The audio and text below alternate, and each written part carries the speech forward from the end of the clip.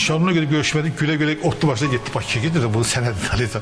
Bu o qız o indikilər qızlar olarsa dərk elər nişanını sənət sənət dalıca gedir. O qız dərk eləyir daha savadlı qızlar. O qədər də biraz görsə ki qəlbidir də nişanım getdi, gəzməyə aparmadı. Gəldim bunlara pastorun gördüm xalamız da tək qoymurdu axı.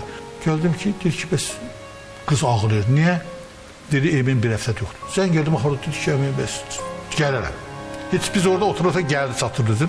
O gəldən yolda gülüm gülüm marşı var. E? Gülüm gülüm. Onu yazmışdı nişanlısına. Toyda oxudu bu söhbət. Qızın gönlünü aldı elədi. Rəhmətə qədər ilk dəfə onu Cavanşir Məmməd oxudu. Dedi ki, bunu Emin Cəbrayov yazıb, o mahnını gülüm gülümü oxudu. Mən yadımda indiyə kimi. Əgər səhv eləmirəmsə Cavanşir müəllim oxudu və dedi ki, gülüm gülüm mahnısı Emin Cəbralovun yazıb, o mahnını rəhmətə gedib belə yada saldı. Emin rəhmətə gedərsə onun 40 gün anasının yanına qız ayrılmadı.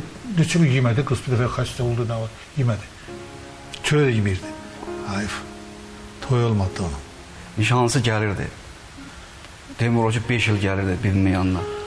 Olmaz da o da cavan qızdır. Yox, bütün bunları özümüz də dedik ki, Çox gəlirdi, sən- qalırdı da burada. Heç. Axırı bündü bala sən olmaz da belə.